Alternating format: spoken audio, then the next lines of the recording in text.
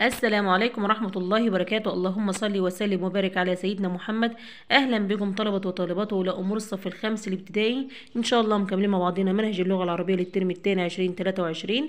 يا ريت سنة خمسة وأول مرة تشوف قناتي تشترك فيها وتفعل زر الجرس عشان يوصلك كل جديد وتعمل لايك للفيديو. إن شاء الله هنحل مع بعضنا النهاردة أول درس مقرر علينا في مادة اللغة العربية للترم الثاني.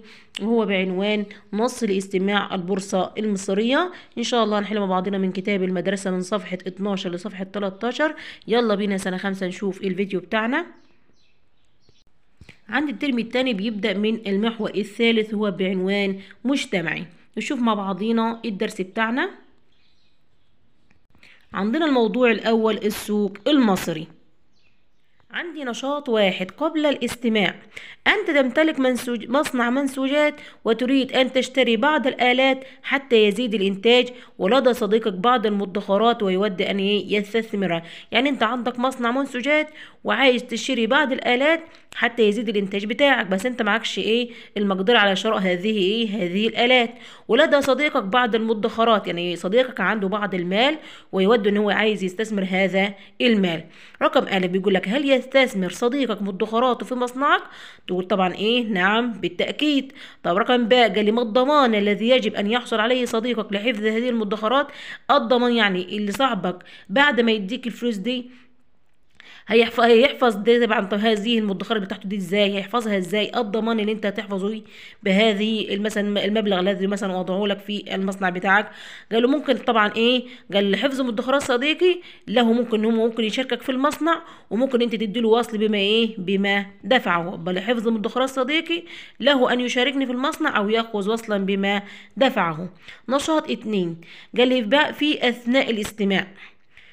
ضع علامة صح أمام الجملة الصحيحة وعلامة إيه؟ وعلامة خطأ أمام الجملة غير الصحيحة. رقم ألف سليمان شريك في الشركة العملاقة التي رآها طبعا العبارة صحيحة. طبعا إيه الدليل على ذلك إن أبوه شرى له إيه أسهما هو وإيه والعائلة في البورصة المصرية. رقم باء بدأت فكرة البورصة بمحافظة القاهرة لأول مرة لبيع القطن طبعا العبارة خاطئة ده بدأت فكرة البورصة المصرية بمحافظة الإيه الإسكندرية لأول مرة لبيع القطن. رقم ج البورصة هي سوق لبيع وشراء الأسهم وسندات العبارة صحيحة. السؤال رقم د قال ما يحدد المكسب والخسارة. هو ديون الشركة. طبعا العبارة هنا خاطئة. طبعا اللي بيحدد المكسب والخسارة هو إيه؟ العرض والطلب. نشاط ثلاثة قال لي بعد الاستماع. رقم ألف أذكر موقفا أعجبك في القصة ومعلومة جديدة تعلمتها. طبعا الموقف الذي أعجبني في القصة هو سؤال إيه؟ حوار سليمان مع والدي. طب إيه هي المعلومة اللي أنت اتعلمتها في القصة؟ طبعا تعلمت وعرفت بداية حكاية البورصة المصرية من أين إيه؟ بدأت. رقم باء قال صف شعور سليمان حين شاهد لأول مرة الشركة وعرف أنه شريكا بها. طبعا طبعا كان سليمان يشعر إيه؟ يشعر بالإندهاش. السؤال رقم جيم. اللي حلل عناصر القصة. هنحلل عناصر القصة. طبعا إحنا عارفين عناصر القصة خدناها مع بعضنا في سنة رابعة. عندي الشخصيات عندي الزمان ومكان عندي بداية القصة وعندي الموضوع وعندي النهاية. طبعا عندي الشخصيات اللي كانت موجودة معايا في القصة. طبعا عندي سو... عندي مين؟ الأب وعندنا سليمان. رقم اتنين. الزمان والمكان طبعا هو كان رايح مع أبوه يشتري ملابسه في وقت الصباح في أحد ميادين إيه وسط القاهرة.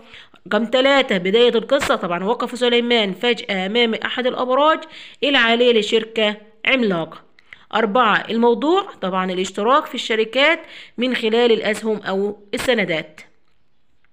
رقم خمسة. قال لي النهاية. طبعا سأصبح شريكا في أهم شركات مصر. الصفحة رقم 13 عندي نشاط أربعة. لاحظ ثم أكمل. مديني فقر ومسألة وسألة. رقم ألف. قال الحرف المشترك في الكلمات الثلاثة طبعا هو إيه؟ عندي الحرف أو الحرف المشترك طبعا هو حرف الهمزة.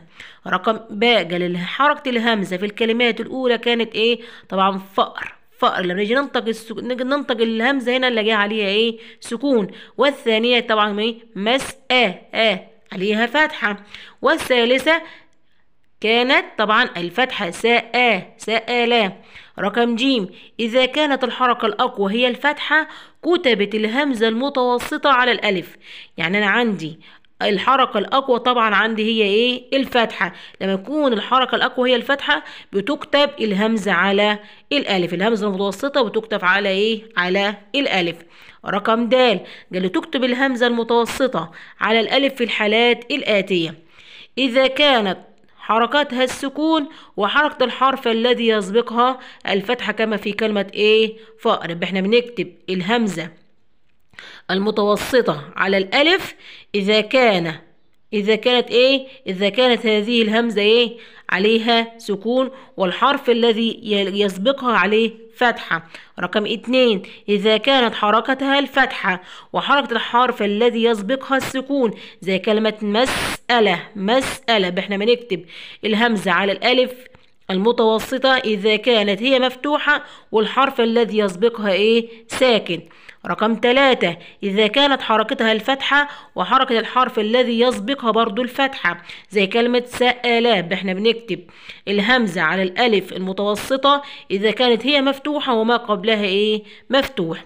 رقم أربعة إذا كانت الحركة الأقوى هي الفتحة كتبت الهمزة المتوسطة على إيه؟ على الألف. الاستنتاج. قال لك عند كتابة الهمزة المتوسطة بتنظر لحركتها وحركة الحرف الذي إيه؟ يسبقها. إحنا بنبص لحركة الهمزة نفسها المتوسطة والحرف اللي قبليها. وتكتب على ما يناسب أقوى إيه؟ الحركتين. قال لك إن الكسرة دي أقوى من الضمة والضمة أقوى من الفتحة والفتحة أقوى من إيه؟ من السكون. نشاط خمسة. قال صوب الخطأ الإملائي بالجمل الآتية. سألت الله لكم التوفيق والنجاح. طبعا سألت سأ سألت. هنا ترسم الهمزة على الألف المتوسطة. لكم التفوق والنجاح.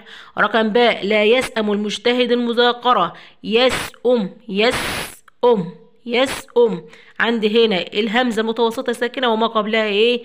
مفتوح. يبقى ترسم الهمزة على إيه؟ على الألف. رقم جيم. يتأمر الق... يأمر القائد الجنود بالدفاع عن أرضهم. يأ يأ يأ. عندي برضو هنا الهمزة إيه؟ الهمزة هنا ساكنة وما قبلها مفتوح. يبقى ترسم الهمزة هنا على إيه؟ الألف المتوسطة. يأمر القائد الجنود بالدفاع عن أرضهم. رقم د للمرأة أثر كبير في المجتمع. للمرأة ترسم هنا الهمزة على الألف المتوسطة لأن إيه؟ الألف اللي معانا هنا طبعا إيه؟